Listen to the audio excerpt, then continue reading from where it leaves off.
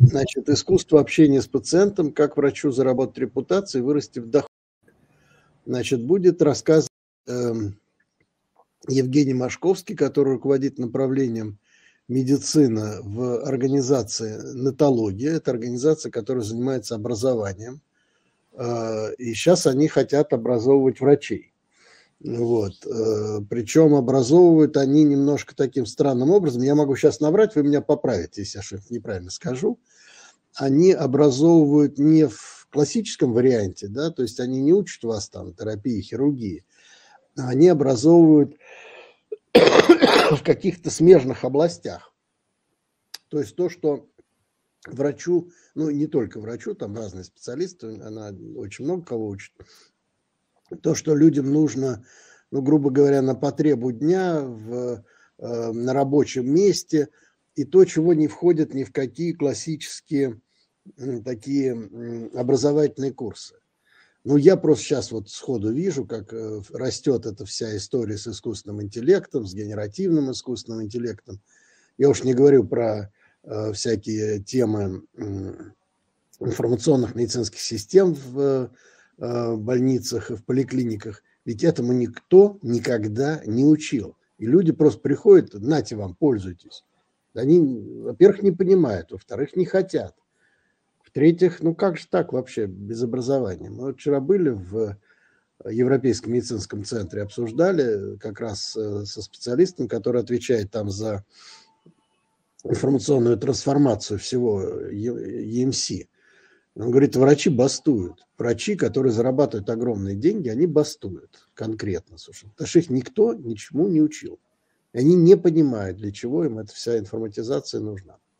Ну ладно, это я так э, немножко в сторону. Давайте, рассказывайте. Да, уважаемые коллеги, добрый вечер. Андрей, спасибо большое за представление. Действительно, вы все правильно сказали. Мы, если коротко, учим тому, чему нас должны бы были научить, по идее, в медицинском институте, но, к сожалению, не научили. А, то есть я всегда говорю, что вот в медицинском институте, я поскольку сам врач, выпускник и продукт, а, не побоюсь этого слова, первого меда, 17 лет моей жизни прошло в Сеченовском университете, 12 а, тысяч часов, то есть с первого по шестой курс, нас учат о том, как заботиться о других людях, об наших пациентах. Но за эти 12 тысяч часов подумайте, что практически не часу нас не учат тому, как заботиться о себе. А между прочим, вы и мы, каждый сам у себя, самый, самый главный и первый и пациент, и друг, и помощник, и сохранение себя, своей функциональности, развитие себя, своей карьеры, оно имеет не только эгоистичные какие-то цели, но оно имеет в первую очередь цели э, реализации нашего предназначения, помощи другим людям, потому что то количество усилий, денег, э, которое вложено в наше с вами образование, подготовку нас как специалистов, оно очень большое, и, естественно, сохраняя себя максимально дольше, повышая свою эффективность, мы в полной мере реализуем то предназначение, которое мы для себя а, выбрали. А, как я уже сказал, я сам врач, кандидат медицинских наук, специальность моя спортивная медицина. До 2019 года я работал в Сеченовском университете, а потом перешел в сферу э, на государственную работу, потом перешел в сферу э, медицинского бизнеса и образования. Сейчас э, отвечаю в компании «Нотология», за развитие нового направления медицинского, а, которое вот только, только появилось в этом году. И действительно мы хотим обучать врачам, э, врачей тем навыкам, которые им нужны каждый день для работы, но они по каким-то причинам не попадают или медленно попадают в основную э, медицинскую программу. И сегодня я хочу поговорить с вами про, наверное, свою самую любимую тему – это про коммуникацию, потому что мое первое образование медицинское, а второе образование – лингвистика и межкультурная коммуникация, то есть на как раз стыке этих двух вещей я, можно сказать, моя сфера профессиональных интересов. Если мы с вами задумаемся о том, с чего мы начинаем работу с пациентами, и вообще не с пациентами, а любое наше дело – то мы поймем, что это не осмотр, это не измерение давления, это не а, какие-то манипуляции, мы всегда начинаем со слова. То есть мы с вами здороваемся, задаем вопросы, собираем анамнез, И даже если это э, пациент, который находится в бессознательном состоянии, или это может быть уже человек, который умер, и мы работаем с, с материалом, мы все равно общаемся с коллегами, узнаем какую-то информацию, что нам нужно сделать. Но при этом то есть слово является нашим первым главным инструментом, с чего мы начинаем свою каждую работу. Но при этом, если вы задумаетесь, кто и где вас учил общаться с пациентами, и не только, вы поймете, что э, системного процесса не было. То есть да, в курсе э, пропедевтики, может быть, в каких-то других блоках э, учебных, там, на терапии, на хирургии, нам рассказывают, как собирать анамнез, э, как взаимодействовать с пациентами, какие-то есть принципы медицинской этики, диантологии, но это все-таки общие слова, и это не профессиональное использование слова как инструмента для получения тех целей, которые перед вами стоят, или для упрощения оптимизации своей работы.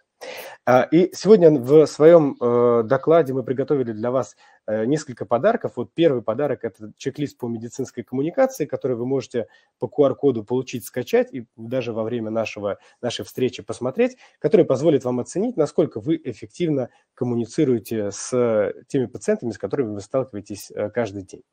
Итак, вот с кем же общаются медики? То есть, когда мы э, спрашиваем Э, у людей, если бы я сейчас у вас спросил, кто приходит в, э, в голову в первую очередь, это пациенты, родственники, наши коллеги, старшие коллеги, эм, то есть большой-большой пул людей, с которыми мы контактируем каждый день. И вот очень интересно, посмотрите, как они распределяются э, по степени, то есть какой объем в, от рабочего времени, с кем мы контактируем. И на первом месте стоит коммуникация человека самого с собой. И э, на самом деле умение говорить с собой, общаться с собой, вырабатывать свою, свою личную стратегию, это тоже большой навык. Сегодня мы этого не коснемся, но просто э, вот все исследования, да, они, они подчеркивают, что мы не, не забывали о том, что навык э, диалога, планирования, выстраивания коммуникации с самим собой, он тоже является важным навыком, про который не следует забывать. Но если мы э, отложим эту часть работы, то, конечно, в первую очередь это а, пациенты, на которые проходится 30% нашего общения. Дальше на третьем-четвертом месте это идут коллеги и старшие коллеги, а, то есть какие-то наши а, а, начальники, а, родственники пациентов, наши научные руководители, наши работодатели, какие-то проверяющие органы. То есть вот так примерно распределяется а, наша коммуникация в течение дня. И сегодня мы с вами разберем некие модели, которые вам помогут лучше выстроить э, общение именно с этими категориями людей, с которыми э, вам приходится сталкиваться э, каждый день. И начнем мы, конечно, с общения с пациентами. А, те модели, те принципы, о которых я буду рассказывать, а, хочу сразу сказать, что поскольку все-таки коммуникация – это не математика и не хирургия, то а, здесь есть большая степень гибкости. И те принципы, о которых я говорю, в каких-то случаях будут работать лучше, в каких-то случаях они будут не совсем применимы, например, если вы судмедэксперт или патологоанатом, и ваши пациенты, с ними уже не пообщаешься. И э, здесь зачастую мы не знаем, что именно лучше всего сработает в нашей коммуникации, но тем не менее, чем больше вот этих принципов, этих моментов вы встраиваете, вы используете, э, тем эффективнее получается наша коммуникация. Причем иногда может показаться, что это какие-то очевидные простые вещи, э, которые вроде бы и так всем понятны. Но нужно задать себе вопрос, а насколько я использую эти очевидные вещи, потому что а, очень часто проблемы в коммуникации возникают, потому что вроде нам э, все понятно, вроде мы знаем, что надо поздороваться с пациентом и представиться ему по имени, но мы почему-то это не делаем, и теряем какие-то баллы, очки, теряем какую-то эффективность коммуникации. И это скапливается. Здесь не поздоровались, здесь что-то не сказали, здесь не применили приемы а, эффективного взаимодействия, в итоге коммуникация разваливается. Вот чем больше вы таких приемов знаете и внедряете в свою практику, тем эффективнее коммуникация. Я все-таки хочу еще раз подчеркнуть, что коммуникация, несмотря на то, что ее нельзя пощупать, это наука, там есть свои инструменты, и применяя эти инструменты, вы действительно можете быть более эффективны, двигаться к тем целям, которые вы себе ставите.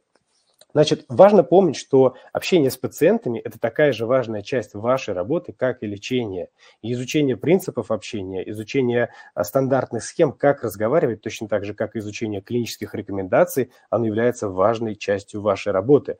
То есть а, поскольку мы с этого начинаем, и мы тратим очень много на это время, чтобы меньше тратить своих сил, важно знать какие-то приемы коммуникативные, которые вам помогут выстроить э, проще эту коммуникацию. А, конечно, а, наша работа, она связана с взаимодействием и с э, сообщением, которое зачастую переходит какие-то личные, личные границы. А, врачи, мы стараемся помочь, и очень многие врачи плохо умеют выстроить эту личную границу, да, чтобы, с одной стороны, сохранить заинтересованность, профессионализм, с другой стороны, не брать слишком многое а, а, на себя. Работа с личными границами является тоже важной частью работы с пациентами. А, нужно, а, нужно понимать, что наши, наши эмоции, если мы испытываем какое-то раздражение, а, является неким флажком признаком. То есть изначально мы все настроены на положительную коммуникацию. Но если вы видите, что коммуникация начинает разваливаться, вы раздражаетесь или что-то идет не так, то это как некий симптом. И это симптом, который вам в первую очередь говорит, что, скорее всего, вы устали и вам нужно сделать небольшой перерыв. Как бы сложно это ни казалось в нашем плотном графике, да, когда у нас расписан прописаны приемы, когда мы на дежурстве, но мы должны понимать, что как только ну, вот эта болезнь начинает развиваться, коммуникация разваливается, чем меньше наш ресурсы, чем меньше, больше мы устали, тем сложнее нам будет это делать. Поэтому иногда лучше там сделать паузу на 5-10 минут, передохнуть, э, чтобы восстановиться, или там взять полчаса, пойти э, перерыв, э, и это увеличит степень вашей отдачи в работе с другими пациентами. И, конечно, если мы э, чувствуем, что назревает какой-то конфликт, умение быстро распознать конфликт и сделать шаг назад является одним из важных принципов коммуникации с, с пациентами. Под каждый, конечно, у нас сегодня в рамках нашего общения а, нет возможности разобрать а, подробно все инструменты, потому что под каждым из этих принципов имеется много-много прикладных техник, которые вы можете изучить самостоятельно, изучить на каких-то курсах, изучить в работе там, с пациентами. Но это те принципы, которые вы себе можете пометить и подумать, насколько вы хорошо э, знаете, как распознавать распознавать конфликты, что с этим делать, насколько вы умеете хорошо выстраивать личные границы и так далее, и так далее, и так далее. А, следующая важная часть э, общения – это не просто пациенты, это вредные пациенты, потому что одно дело поговорить с пациентом, который настроен на лечение, и ты ему все объяснил, он с интересом послушал, что э, ты ему сказал. Другое дело общение с э, вредными сложными пациентами. Нужно понимать, что чаще всего эти пациенты, они хотят э, внимания. И то, что вам нужно сделать, это не решить их проблему, а показать заботу о них. И если вы имеете какой-то инструмент, который быстро позволяет вам это сделать, то а, проблема решается сама собой. Почему я все время говорю про коммуникативные инструменты и чем это отличается от э, эм, какого-то погружения в ситуацию? Потому что когда у тебя есть инструмент, ты действуешь по некой шаблонной схеме, фактически на уровне рефлексов и не думаешь. То есть мы обычно устаем, а, вы, выдаем свой сильно, тратим коммуникативный ресурс, если мы анализируем ситуацию и придумываем каждый раз какое-то новое решение. Но когда у нас есть некий шаблонный, э, шаблонный инструмент, и мы видим, что пациент раздражается, нам нужно там 20 секунд уделить ему внимание, сказать такие-то, такие-то слова, может быть, даже всем одни и те же, это сразу решает эту проблему. Поэтому такие техники, как активное слушание, отражение эмоций, которые вы применяете с общением с такими вредными пациентами, они вам а, помогают из этих ситуаций выходить. А, нужно понимать, что, к сожалению, вредные пациенты тоже часть нашей работы, и умение справляться с ними – это такой же вызов. То есть если а, у вас много пациентов, которые вас раздражают, вам сложно с ними общаться, скорее всего, вам не хватает каких-то инструментов. И изучите эти инструменты, начать их постепенно применять. Часть вашей работы такая же, как изучение последних клинических рекомендаций. Конечно же, такие разговоры с пациентами очень сильно выматывают. И даже несмотря на наличие инструментов, на какую-то вашу профессиональную подготовку, мы все равно устаем. А, и это нужно понимать и принимать. Поэтому если вам нужна поддержка, а, ее можно искать а, среди, среди коллег. Это задача, конечно, тоже и руководителя, и выстраивания атмосферы работы в больнице или в коллективе, давать поддержку врачам, которые общаются с трудными пациентами, которым иногда нужно проговорить и обсудить эти ситуации. Вы можете искать поддержку в каких-то группах, на внешних ресурсах, вы можете искать э, поддержку в образовательных программах, то есть искать поддержку, это важно. Почему? Почему, опять же, это кажется очевидным, что если плохо, ищи поддержку, но нужно задаться вопросом, как часто мы это делаем. То есть если нам действительно плохо, нам тяжело, а, и мы не просто говорим, ладно, отдохну, посплю, и завтра все пройдет, а мы идем и сознательно обсуждаем, проговариваем наши проблемы. Вот обсуждение, проговаривание проблем и активное поиск их решения быстрее приведет к решению проблемы, чем просто отдохнуть э, и восстановиться. То есть мы всегда занимаем проактивную позицию, э, которую мы пытаемся реализовать. Родственники. Э, родственники бывают разные, и общение с родственниками тоже часть важная наша работа. Здесь я хочу а, разобрать на конкретном примере. Вот э, есть несколько принципов, да, что э, нам нужно обязательно с ними общаться, естественно, с этими родственниками, но это мы должны делать в рамках, то есть этим процессом управляем мы. Есть а, способы, когда мы даем информацию, но не раскрываем лишнего, какую-то личную информацию, которую мы не можем раскрывать. А, мы можем рассказывать про наши действия, не про состояние пациента, и управлять следующим нашим визитом, встречи с родственниками родственниками. А, э, как, как это все выглядит? Почему? Потому что если мы отказываемся разговаривать или не даем комментариев, или как-то грубо отвечаем, то это вызывает ответные защитные реакции и волну негатива. Гораздо лучше, проще дать какую-то часть внимания, часть информации, то есть чтобы, э, то есть частично удовлетворенный человек лучше, чем совсем неудовлетворенный, э, потому что совсем неудовлетворенный будет искать дальше способ удовлетворить то, что он хочет.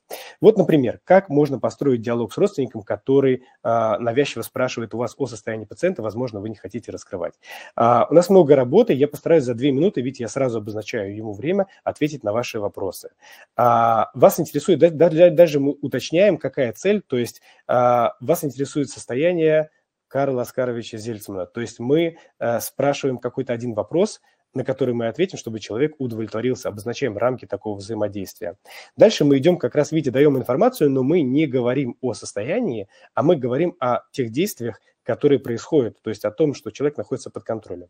Его состояние отслеживается, оказывается помощь, находится под постоянным контролем, окружен вниманием заботы и так далее, и так далее, и так далее, потому что личную информацию про пациента мы не можем раскрывать, да, а говорить про наши действия, тем более в ну, таком нейтрально-абстрактном э, шаблоне мы можем. Но человек при этом, он его степень тревожности, напряженности падает, он получает удовлетворение частичное на свои вопросы. Конечно, как я уже сказал, бывают случаи, когда это не сработает, бывают родственники, которые, даже если вы им все расскажете и покажете, они все равно вас будут закидывать и писать жалобы, говорить, что вот всеми занимаются, а моим, а моим конкретно там родственникам нет, как часто это бывает, да, все думают, что только им не уделяется внимания, но тем не менее, 70-80% а, таких случаев вы с ними разберетесь да, с помощью этой модели. А, дальше вы обозначаете, что вы можете задать мне один вопрос и позвонить завтра в это же время. То есть, видите, наша коммуникация, она абсолютно управляема в тех рамках, которых мы сами обозначили. Разговор с пациентом о будущем. Это как раз вот про а, те моменты, когда мы хотим а, увеличить свой доход и работу с пациентом, но при этом мы не хотим назначать какие-то ненужные исследования, там, э, впаривать анализы. То есть мы действительно, а, используя те допустимые разрешенные методы игры, Э, можем управлять пациентом так, чтобы это было ему во благо, но в то же время мы и э, приносили пользу и клинике, и себе. А вы знаете, есть парадокс, что вот у меня есть еще курс по личному бренду, который я э, часто много веду, и там мы много говорим про продвижение, и в принципе понятие личного бренда очень связано с продажами. И, конечно, всех нас, врачей, когда мы услышим, что надо, надо что-то продавать, надо продаваться, все сразу приходят в нервное возбуждение, в панику, говорят, что мы не хотим ничего продавать. То есть все, с одной стороны, хотят а, зарабатывать э, больше, но ничего продавать и никому ничего предлагать не хотят. Но когда мы говорим про продажи, про продвижение, это на самом деле не про навязчивое предложение тому, а, того, что человеку не нужно. Это про рассказ о тех возможностях, которые есть у человека. А, простые приемы, например, обозначить точную дату следующего приема. Не просто отпустить человека, а сказать, что давайте мы запишем вас на там, следующей неделе в пятницу во столько-то. Это повышает вероятность его возвращения на 40-60%. 100%. А возвращение – это значит дополнительные деньги, которые он приносит вам и вашей клинике. А мы даем пациенту план по решению его проблем, который он должен будет следовать. Обратите внимание, что чаще, чаще всего мы даем план лечения, но план лечения нужен врачу, потому что от перечня манипуляций мне, как пациенту, ну, не горячо, не холодно, мне нужно понять, когда у меня перестанет болеть голова, спина, или как минимум, как те или иные действия будут на это влиять. То есть в идеале, вот в реабилитации, да, где я э, работал, мы обозначаем с пациентом какие-то цели, которые мы хотим достичь, там, увеличить диапазон движений, увеличить мышечную силу, и дальше под эти цели я уже пишу те мероприятия, которые он делает, чтобы он понимал, что, зачем он делает. Это позволяет увеличить и приверженность пациентов лечению, и его возвращаемость.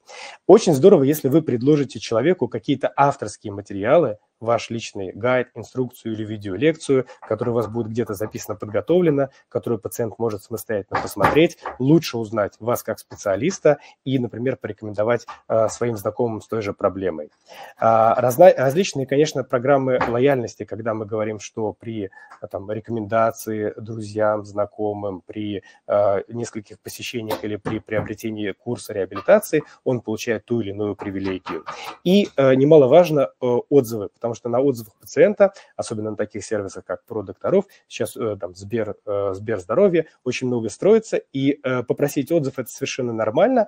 Нужно понимать, что человек чаще всего, так работает наша ну вот, психология, что если это какой-то негативный опыт, то мы побежим писать э, вредные слова, что нам что-то не понравилось. Если это позитивный опыт, то человек чаще всего про это не пишет. Но позитивного опыта в вашей практике, я надеюсь, э, гораздо больше, чем негативного. То есть 99% ваших пациентов, они рады и довольны тем, что вы с вами, вы с ними сделали, но они про это не говорят.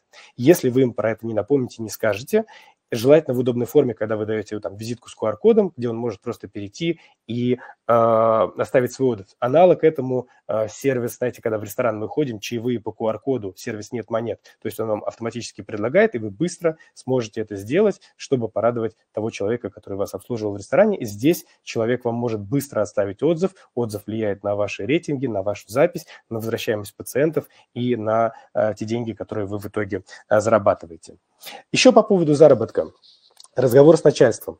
Тоже нам приходится с ним общаться и просить, а, иногда мы хотим повысить зарплату или какие-то условия, процент, э, который мы получаем с пациентов. Вот чтобы, чтобы получить желаемое, мы в первую очередь должны не просто попросить об этом, а показать ту ценность, которую мы принесли или принесем клинике за нашу работу. То есть вы можете рассказать, показать о тех действиях, которые вы предприняли которые э, были, были сделаны и э, каких результатов вы достигли, показать, что вот там у вас больше всего запись пациентов, что у вас вырос сильно рейтинг на каких-то сервисах, что вы э, повысили средний чек, если вы работаете в коммерческой э, клинике, если вы работаете в государственной клинике, то это может быть удовлетворенность пациентов, это может быть какие-то рекомендации э, или там реализация каких-то квот, чего-то еще, и на основе этого попросить у начальства ту прибавку, которую вы хотите. То есть эти разговоры совершенно нормально. Не забывайте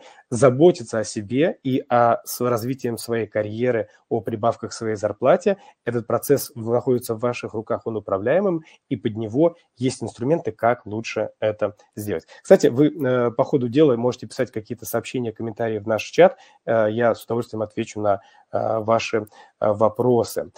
Все, все то, о чем я рассказал, мы в нетологии сейчас собрали в курс, который так и называется «Искусство общения с пациентом. Как врачу заработать репутацию и вырасти в доходе». Он начинается в апреле. Мы вас всех приглашаем этот курс пройти. Там как раз будет подробно разобраны все инструменты, как вы можете сообщать пациенту плохие новости, как вы можете использовать Калбери-Кембриджскую модель, как вы можете э, вести репутационную работу с пациентом, как вы э, можете попросить у работодателя, чтобы он вам повысил зарплату или найти новую работу, как себя презентовать.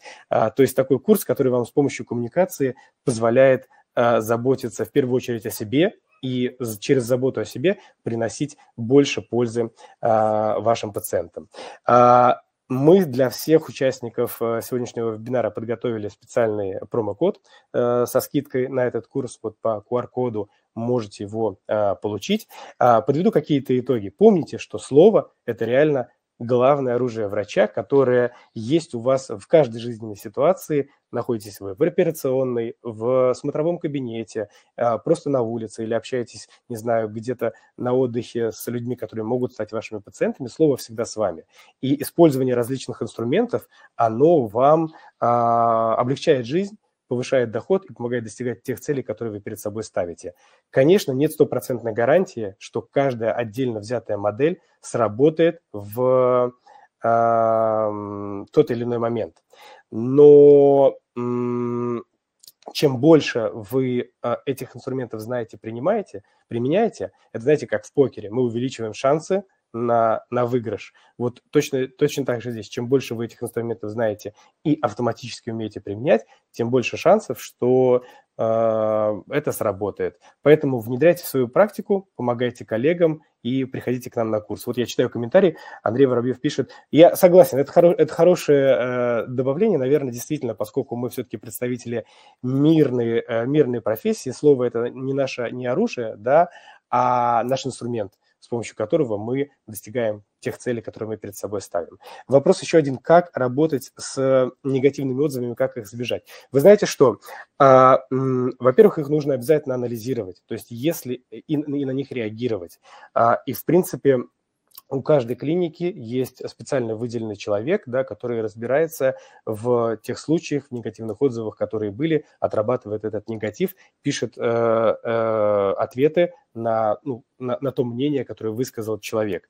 Э, надо разобраться в ситуации. Если там действительно была проблема, во-первых, надо ее устранить на э, уровне клиники, во-вторых, э, показать человеку, что эта проблема решена, и если э, та площадка, э, где был размещен этот отзыв, подразумевает какую-то модерацию, то есть человек может этот отзыв удалить, лучше предложить человеку что-то, да, там, скидку, э, какой-то дополнительный прием, какую-то дополнительную услугу, да, чтобы он этот отзыв удалил, потому что негативные отзывы очень сильно бьют по репутации и врача, и клиники. И если это коммерческое заведение, мы, конечно, стараемся их избежать. Государственное тоже. Поэтому э, работа с, с негативом, с негативными отзывами, э, это вот важная составляющая. Самое главное их не игнорировать.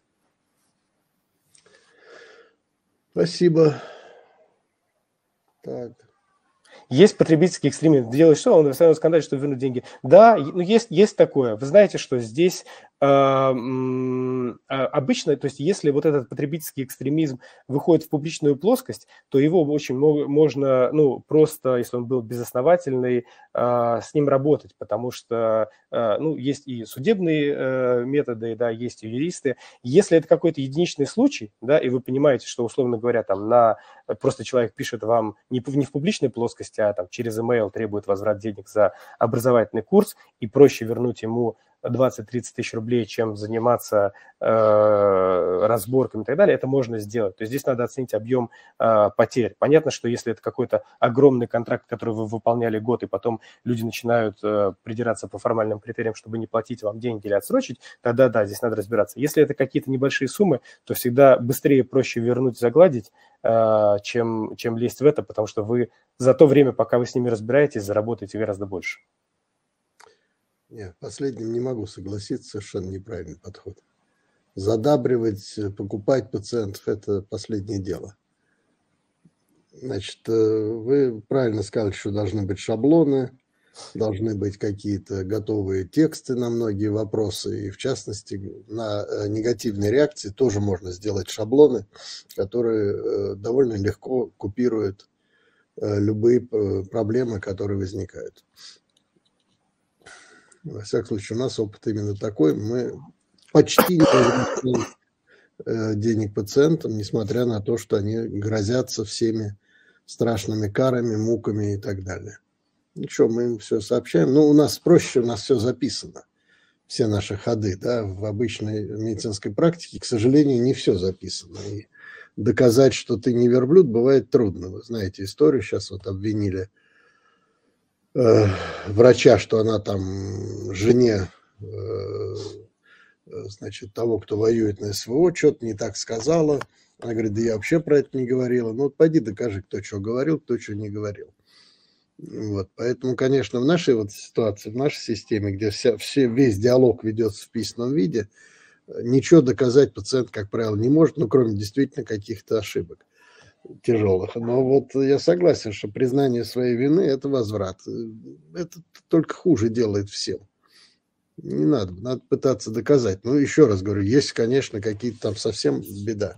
Вот, но мы что еще придумали, может быть, это тоже будет полезно всем. Мы сделали такой тип третейского суда внутри организации, когда поступает жалоба, то мы э, собираем некий консилиум дополнительный, да, где есть э, два специалиста плюс тот, кто э, на кого подана жалоба, плюс администратор. И разбираем вопросы и пишем обычно такое, ну, тоже достаточно стандартизованное решение по этой проблеме.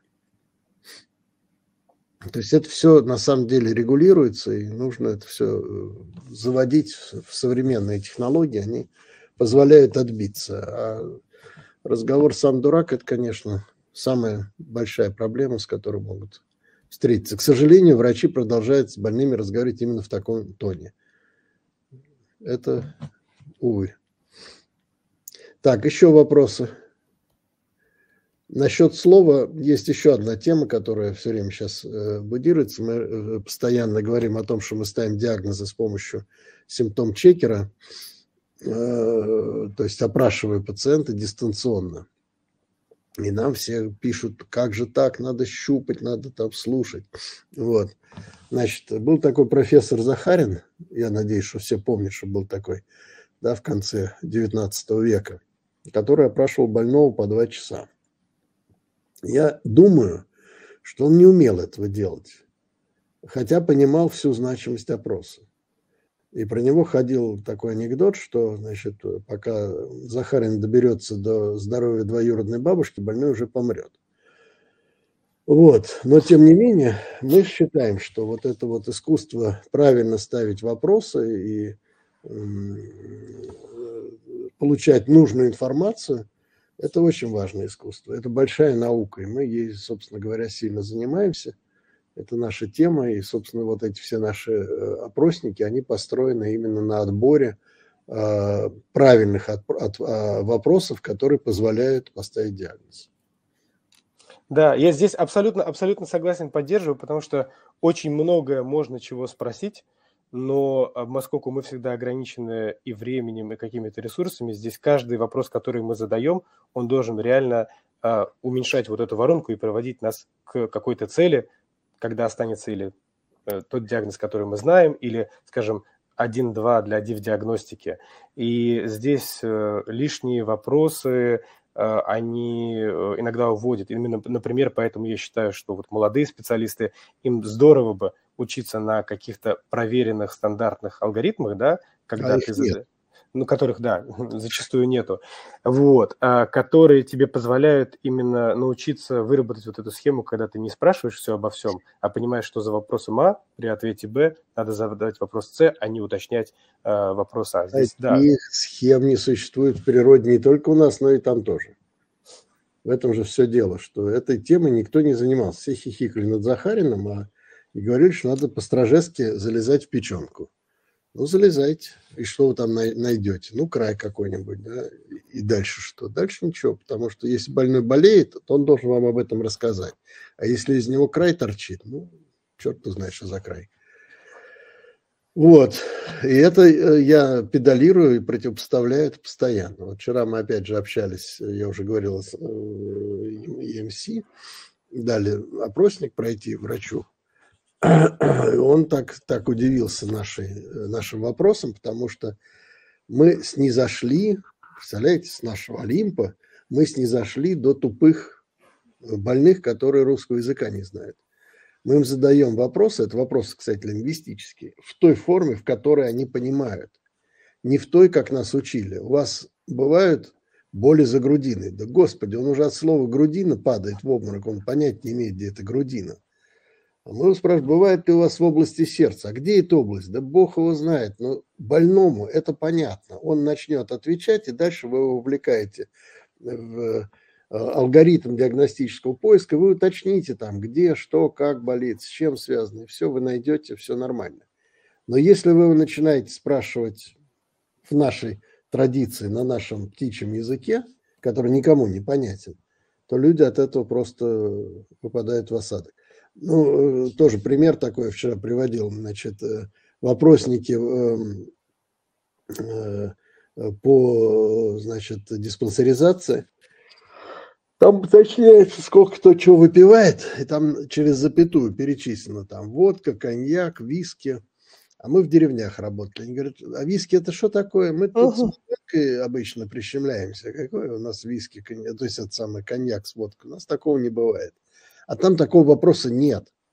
Потому что они не понимают, что у нас культура людей, она другая. Мы, э, любимая тема сортира, да, что больница начинается с сортира. Приезжаем Каргасок. Это 800 э, да, километров от Томска прямо на север вдоль Аби. Ну, понимаете, что немножко дырка такая. Попа мира, как говорят теперь. Там отремонтирован прекрасный э, дом престарелых. Супер просто. Вот. Ну, правда, деревянное здание, но все равно хорошо сделано, все чистенько, гладенько. И теплый сортир. И они нас водят, говорят, ну вот у нас есть теплый сортир, но вы знаете, э, никто сюда не ходит, потому что все привыкли ходить в очко на улицу. Поэтому мы, к сожалению, или к счастью, или как, но мы оставили. Ну, такой менталитет. Вы что хотите с этим делаете? Но они всю жизнь прожили с очком. Они не будут ходить в теплый туалет. И когда вы начинаете задавать вопросы, вы должны это всегда учитывать. Ну что, это, ничего страшного в этом нет. Хорошо, ну ладно, мы, собственно говоря, сегодня попытались э, врачам показать, что можно э, куда-то идти учиться и обсуждать эту тематику, потому что она важна, и я думаю, что мы к ней будем возвращаться еще.